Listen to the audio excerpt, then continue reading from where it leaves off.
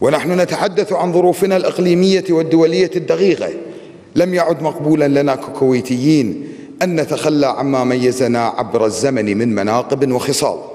وخاصة تلك المتعلقة بالحكمة والنضج والعمق والتروي والصبر والانسجام مع الطبيعة والتصالح مع الجغرافيا. وفوق تلك المناقب والخصال لم يعد ممكنا ولا مقبولا أن نتنازل عن سلاحنا الرئيسي والأول ونتخلى عنه. سلاحنا الذي جربناه مرارا ككويتيين فحمانا وخبرناه قرونا فصاننا. واعني بهذا السلاح وحدتنا الوطنية. لقد كنا على الدوام أقوياء بوحدتنا بتضامننا بعلو همتنا. ونحن حين نتحدث عن الوحدة الوطنية لا نتحدث عن شعار تم استهلاكه واستخدامه كما يريد البعض أن يصور بل عن قدر وطني لا مناص عنه وعندما أقول لا مناص منه فأنا أعني ما أقول. فعبر تاريخنا الطويل جربنا كل أشكال الابتلاء.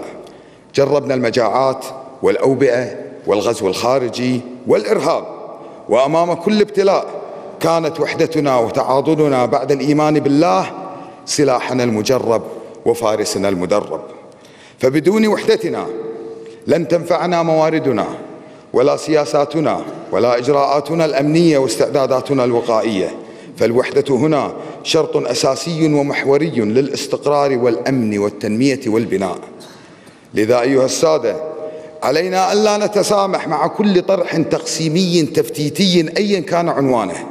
وعلينا الا نتسامح مع كل صوت نشاز يثير الكراهيات وخطاب التشاحن والتخاشن.